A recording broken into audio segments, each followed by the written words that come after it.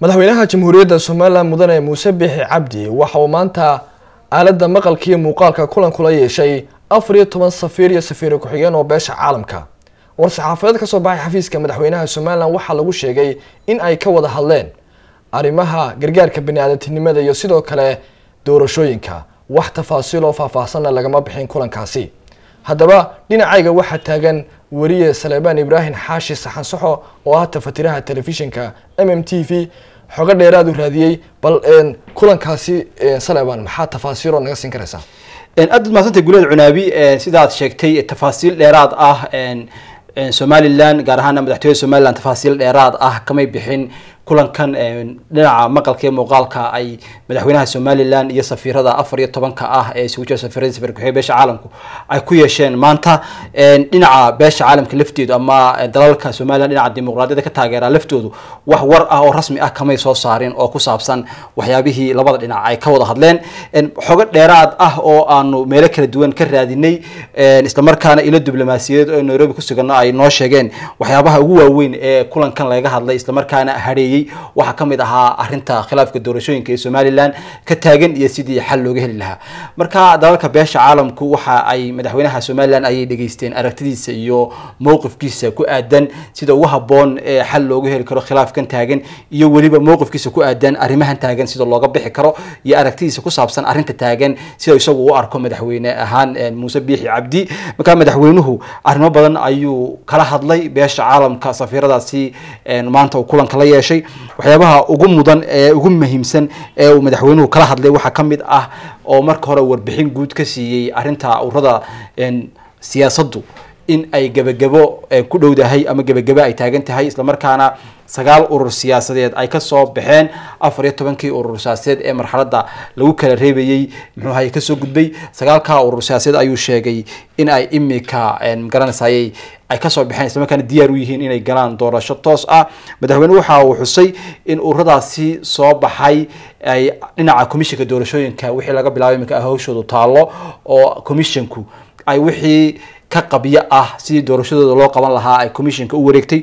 Commissionkuna qabyatirka dhinaca xeerarka iyo shuruucda doorashadaasi ku xidhan ay commissionkaasi soo jeedin doonaan ama iyagu ay magaranaysaay hawshaas iyaga u taalo waxaa kale oo uu madaxweynuhu xusay in ay magaranaysaay diyaar u yihiin in doorashada somalilan ama doorashooyinka somalilan lagu qabto muddada farsamo ee golaha guurtida somalilan ay soo jeedi muddada farsamo ee ay soo jeediyeen commissionka doorashooyinka somalilan ee sagaalka bilood ah waayo xogaha cusube kale kulankaasi ka soo kordhay maxaa kale nooga sheegi karsaa haddii aynu sii dul istaagno madaxweyne muuse biixi cabdi waxa uu isdul taagay arrinta doorashada oo beesha caalamku laftooduna ay aada u daneynayeen magaranaysaye arrinta xudunta ah ee khilaafku ka taageenna ay tahay.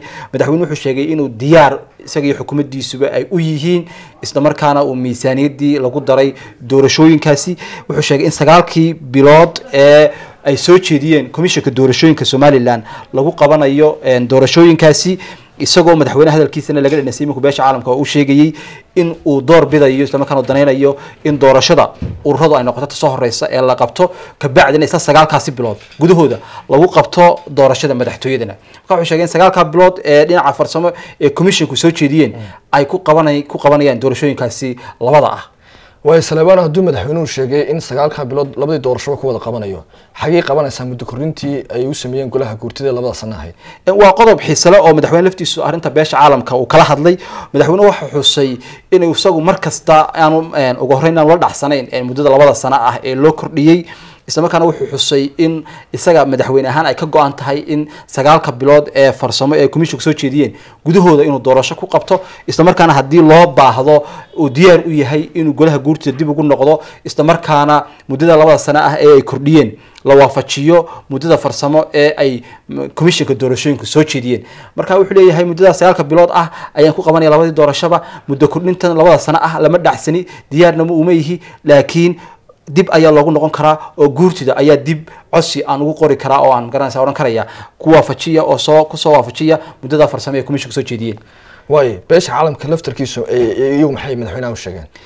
Beesha caalamku waxyaabaha ay madaxweynaha u sheegeen ugu waaweynaa waxaa ka mid ah waxay xuseen in loo baahan yahay in xal deg deg ah somalilan khilaafkeeda dhinaca doorashada laga gaadho oo ismarinwaaga muddada soo jiitamayay ee soo taagnaa ee udhexeeya xukuumadda iyo xisbiyada mucaaradka. Xal deg dega loo gaaro si taasi ay u abuurto jawi lagu qaban karayo muxuu ahaye doorashooyinka somalilan. Waxa ay xuseen in arrintaas haddii si daba dheeraato oo khilaafku si daba dheeraado ay arrintaas dhaawac ku tahay somalilan isla markaana kalsoonidii ay beesha caalamka ku qabtay somalilan ay dhaawici karto. Waxaana madaxweynaha u soo jeediyeen isla markaana ay magaranaysa ay ku cadaadiyeen in loo baahan yahay in madaxweyne ahaan uu hogaamiyo xal loo dhan yahay oo arrintaasi khilaafka ah lagu soo afjaro oo muxuu ahayey si loo aado doorashooyin. Magaranaysaay dhinacyadu ay isla ogol yihiin waxaanay xuseen in haddii taasi la waayo ay arintu meel adag gaari karto oo somalilandna sumcadeedii dhinaca dimuqraadiyadda iyo geedi socodka dimuqraadiyadda ay dhaawici karto. Marka waxay soo jeediyeen in xal la gaaro madaxweyne laftiisuna waxa ay sheegeen in dhinacyada ay khilaafka dhexeeya mucaaradka ah uu la hadlo qorshihiisan iyagaba u sheegayna uu hor dhigo oo uu ka dhaadhiciyo ama uu ku qanciyo inay arrintaasi magaranaysaayey si laysla ogol yahay miiska wadahadalka loogu dhameeyo xal la gaadho waayahay saleemaanow xisbiyada mucaaradka ee somalilan ee u cidiya wadani iyaga laftarkoodu beesha caalamka ma la kulmeen? Intaanan qodobka u gelin waxyaabaha kale ee beesha caalamku madaxweynaha kala hadashay ama u soo bandhigtay waxaa ka mid ah in ay madaxweynaha u sheegeen in loo baahan yahay maadaama mucaaradku iminka ay leeyihiin muxuu ahayey saddex iyo tobanka bisha november marka la gaaro madaxweynaha ma aqoonsanin in sidii horeba u dhacday in aan mucaaradka oo kale taageerayaashooda haddii dareenkooda ay si salmiya u muujinayaan oo magaranaysaay ay sameynayaan magaranaysaay soo baxyo nabdoon hadday sameynayaan in aanay xukuumaddu awood ama magaranaysaay cadaadis ama caburin. Aanay u adeegsan haddii mucaaradku ay dareenkooda cabirayaan marka la gaaro saddex iyo tobanka bisha november. Arrintaas oo aad walaaca aad moodeysay inay uga muujinayeen markii ay magaranaysa madaxweynaha arrintaasi kala hadlayeen. Madaxweyne liftin wuxuu sheegay inaanay xukuumaddiisu diyaar u ahayn in la hagardaameeyo mucaaradka iyo taageerayaashooda haddii dareenkooda si salmi ah ay u muujinayaan. Horena de beesha caalamku arrintaasi mudaharaadadii hore waati aada u cambaaraysay mudaharaadkii dhacay koo iyo tobankii bishii muxuu ahaye august iyo kii dhacay weliba bishii bilii ka sii horreeyey ee magaranaysa mucaaradku ay dadka magaranaysa laga xidhay faraha badan leh. Marka qodobkaasi iyaguna isu taagan madaxweyne waxay u soo jeediyeen in la xaq dhowro ama la ilaaliyo xuquuqda muwaadiniinta haddii la gaaro saddex tobanka november oo mucaaradku ay isku dayaan inay magaranaysaay ay muujiyaan ama mudaharaad ay sameeyaan. Inkastoo inaan ilaa imika mucaaradku meel ay mudaharaad iyo waxaa ku ballan qaadeen aynaan arag. Qodobka kale aad weydiisay mucaaradka ma la kulmeen maxay ahayday beesha caalamku intii khilaafkani jiray dhowr jeer oo kala duwan ayay la kulmeen xukuumadda iyo muxuu ahaye mucaaradkaba si arrintan kala hadlaan. Mucaaradka muddooyinkii u dambeeyey ama wiigii hore dhowr jeer ayay magaranaysaayey khadka oo kale ka wada hadleen oo arrimahan sidii xal loo gaari lahaa ay kala hadleen. Laakiin maanta in ay si rasmi ah ula kulmeen ilaa minka ma hayno laakiin sida la qorsheynaya waxaa laga yaabaa in waxyaabahan madaxweynaha kala lahad kala hadleen ee ay aragtida madaxweynaha uu madaxweyne u bandhigay in iyaguna la wadaagaan mucaaradka iyaguna mowqifkooda oo kale ay kala hadlaan oo ay weydiiyaan. Sida ay xalka u arkaan iyo sida laga baxayo arrintan ismarinwaaga ah ee taagan. Marka ilaa imika waxaad moodaa guleed cunaamiyow in beesha caalamku ay wado dadaal ay ku dooneyso in xal magaranaysaayey la isugu keeno dhinacyada siyaasadda somalilan isku hayo. Laakiin sida hadalka madaxweynaha uu beesha caalamka u shegay waxaad moodaa weli madaxweynuhu inuu mowqifkii hore uu taagan yahay ee ahaa in doorashada uradu tahay taa soo horeynaysa iyadoo waxa cusub ee keliya madaxweynuhu sheegayna tay in sagaalkaa bilood gudahooda uu diyaar u yahay inuu ku qabto doorashooyinka madaxtooyada iyo magaranaysaayey madaxtooyada tawurada labadaba oo tawurada la soo horreysiinayo. Ilaa imikala ma ma aragno ama ma ogin beesha muxuu ahaye beesha caalamka iyo weliba muxuu ahayey qolada la yidhahdo mucaaradku. Sida ay arrintaasi uga falcelin doonaan ama magaranaysaay laakiin guud ahaanba marka la soo ururiyo kulankani wuxuu ahaa kulamadii ugu ballaadhnaa iyagoo aan joogin dalka aan dalka iman uu khadka fogaan aragga uu kala hadlo madaxweynaha somaliya beesha caalamka isla markaana waxaad moodeyso in beesha caalamku aada u danaynayso in xal deg deg ah la gaaro maadaama oo imika sannadkii u dambeeyeyba ay soo jiitamayeen khilaafkan udhexeeya xukuumadda somalilan ee mudane muuse bixi cabdi hogaamiyo iyo xisbiyada mucaaradka ah.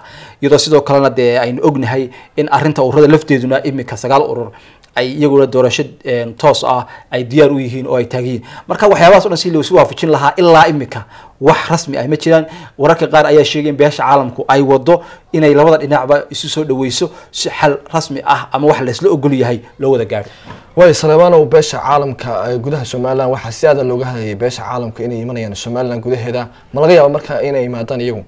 Ilaa imika war rasmi ah oo ku saabsan ama qorshe rasmi ah oo ku saabsan imaanshahooda ma hayno. Laakiin way dhici kartaa in toddobaada soo socda ay si arrintan ay u sii magaranaysaay u sii dhaqaajiyaan in ay yimaadaan oo labada dhinacba magaranaysaay aakhirka haddii halkaa la kala taagan yahay la sii kala taagnaado inay isku dayaan inay laftooda isku soo dhaweeyaan si xal loo gaadho. Laakiin wax rasmi ah oo waqtiga imanayaan maalinta imanayaan ilaa imika ma hubno. Waayahay daawadayaal intaasi waxaynu ku soo gabagabaynaynaa falanqeyntii aynu ku eegeynay safiiradii uu madaxweynaha somalilan khadka telefoonka maanta uu kala hadlay.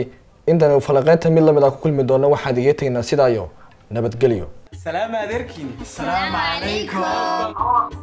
waxaannu jecelnahay wadajirkeenna qoys ahaaneed. Ha u oggolaanay internet daciifa wakhtigeenna fiican idinkaga ciyaaro. Dalba internetka faybarka oo ah mid xawaaro badan isku hallayn leh madadaalo badan garaac aydhwan ayd si aad noogu xidhnaato